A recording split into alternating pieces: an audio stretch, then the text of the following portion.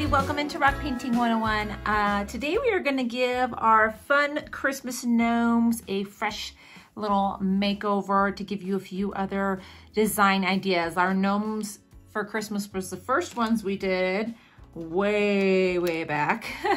and so I thought I would give you a few more fun decorating ideas. So I'm gonna draw my gnomes on first with my black 1M, just so we can place them all down before we start filling them in with color, and then that way we can have them even. I've got four gnomes that we're gonna be doing today. Um, so we're just gonna start, I like the hats my original ones, the hats were a little bit smaller. I'm gonna do these ones with really tall hats because we're gonna put some really fun design elements in the hats. So make sure you leave yourself plenty of space, even more than half the rock for your hats. And then we're gonna come down here and we're gonna build them all starting with their noses. So we're gonna place four noses across our stone here like that. Okay, then we're gonna do the top or the bottom part of the hat and the top part of the beard. Now the beard we like to have come right into the center of the nose. So we're gonna come out to either side and then create an arch over the top on each of our gnomes here. And you can put these as close or far apart as you want. The hats are gonna be pretty tall and skinny.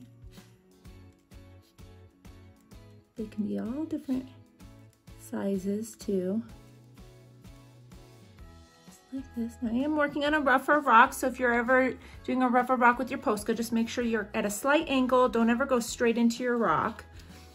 And then we're gonna create our beards. Now our beards are gonna come near the bottom of our rock. So they, I usually have them kind of go out to the side a smidge and then come together at the bottom. And this is just a rough sketch. We're gonna fill everything in. So as you're filling in, if you wanna make your beards a little bit bigger, you can. It's hard to make them smaller though. So always err on the side of small and then you can make them bigger.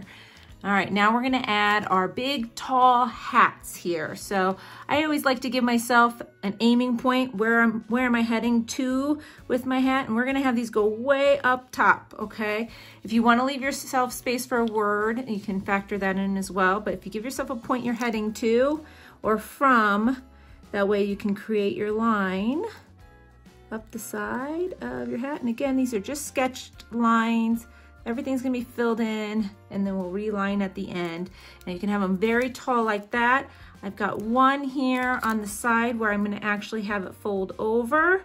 So you can kind of come up like this. If you want it to fold over, I always do lines because it's not gonna really curve off to the side like that. Point up and back down. Okay. We can work on that shape as we fill in too. This one we can go straight up and back down. And this one will have straight up and back down as well. And then I'm gonna do some filling in and I will speed parts of this up for you because it's just gonna be pretty repetitious. So I'll show you what I'm filling in first on one of these and then I'll speed up the rest. So we're just gonna go with kind of a neutral skin tone in our actual gnome face. And then each of the hats, I'm gonna have a solid color in the background before I am creating the decoration. So we're just gonna take and fill in each one, get as close to the outline as you can or even reshape slightly as you're filling in. We are gonna reline everything when it's done. So it's better to fill all the way into the edge than to leave little gaps of stone showing. And you could definitely do these with acrylic paints. A lot of people do them with their paintbrushes and paints. It might be a little hard to do some of the details we're doing with paints, but with some patience, I'm sure you would be able to accomplish them if you try. So again, we're just fill in the hat with a solid color here. And then we are going to fill in our beard. white. And I actually am pulling out my acrylic paint for this because I can't, I just misplaced my larger Posca pen a long time ago and I still haven't found it. So beard will be filled in. So I'm just gonna do this same thing on all four of these gnomes. And then we will start our decorating. So I'm just gonna go ahead and skip forward now since you've seen the basics here to where they're done.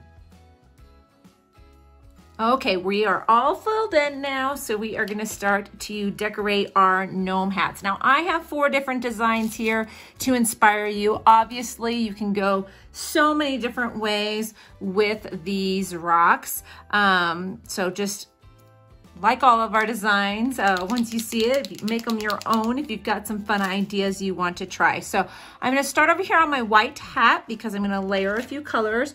We're gonna create a uh, plaid style rock or rock gnome hat here. So we're gonna start with some red lines and we're gonna make these a little thicker. Working our way all the way up our hat. And once you make your second line, you can kind of use your distance as a, a guide to try to keep them even. Now here, you're gonna have a fold where it would pinch. So the top part, you'll have the same distance, but the bottom part will come scrunching together a little ways. So just keep that in mind as you're working your way around your rock. We're gonna let that sit. And I'm actually gonna go through and I'm going to do a, a line going the opposite direction too. And I think I might start right about here. So you want it to become a square. Now I did some diagonal lines here, so uh, just, you can start with a straight line just so you get a squared off edge and then decide which way you want to add your thickness to it. And you can have that continue.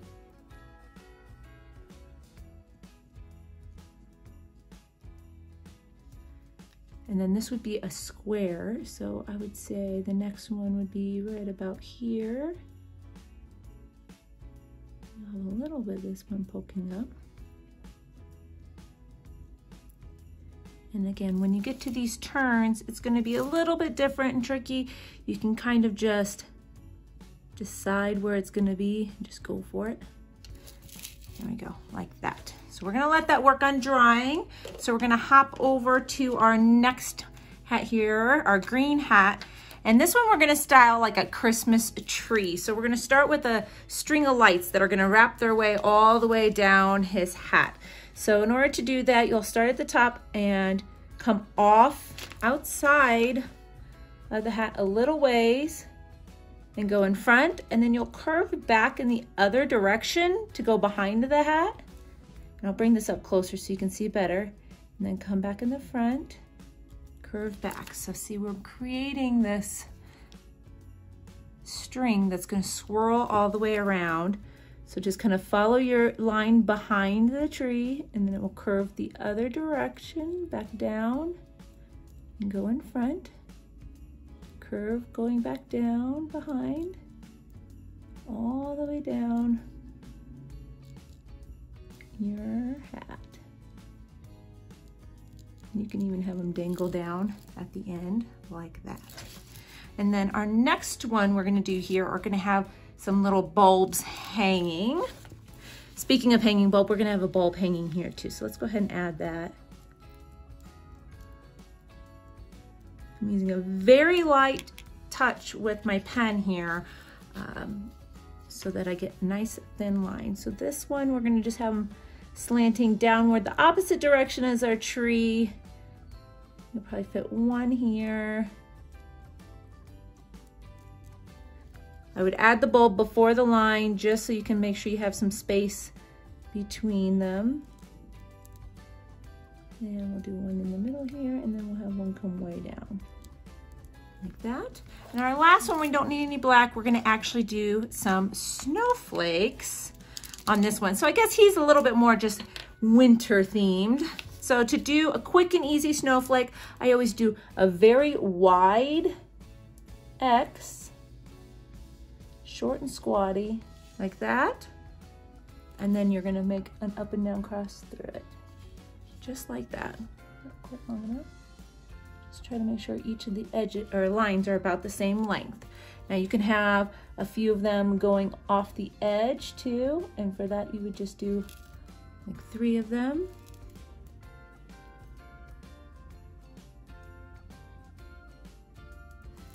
Like that. Just two there. And then in the rest of the space, we're just gonna have some flurries. Just to fill in. all the way up into the tippy top. Like that. All right, so we're gonna go back over here to our first one. Let's go ahead and make that bulb. We're gonna fill in this bulb red match our hat. And we're gonna give him a green line here in a second to match our plaid. So now for the second color on the plaid, we're not gonna worry about different shading and things on this just because there's don't need that many details for what we're doing. So I'm just gonna make a thin green line on either side of all of the thick red lines. So from top to bottom, remember, we're gonna outline all this again with black, so go as close to that edge as you can and just create your lines on either side. Try to do them equal distance if you can, the best you can. And then we're gonna do them across this way as well.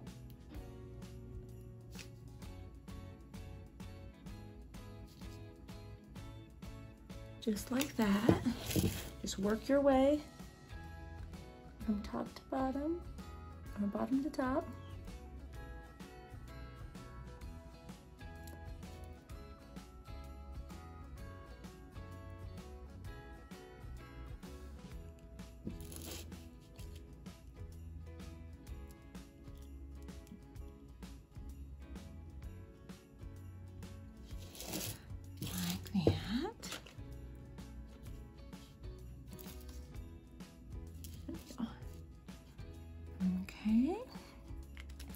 And now for our Christmas lights on here, I'm gonna do yellow, blue, and red. So I should have done this first, actually.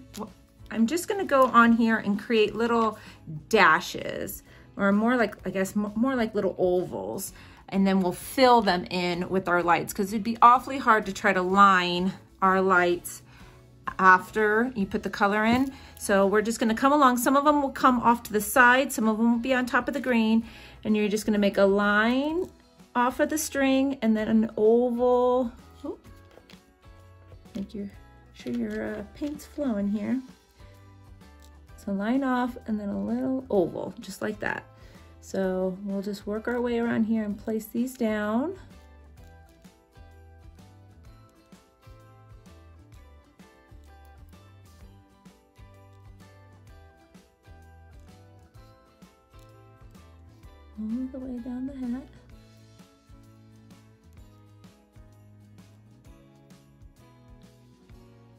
You can have them going up top and up off the bottom too if you want to add in a few more. I think the more the better. It's really going to be cute with all the extra color. Once you place them down, there we go. Oh, don't forget your string if you have your string hanging off down to the bottom.